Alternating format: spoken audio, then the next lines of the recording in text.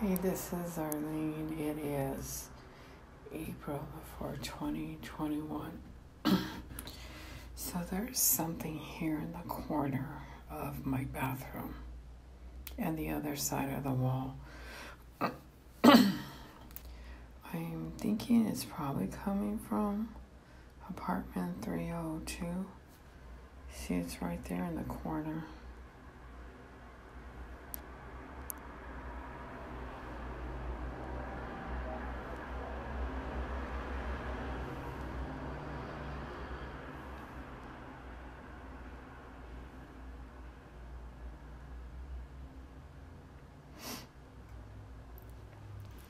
That's my toilet paper roll, and that's the edge of the toilet tank.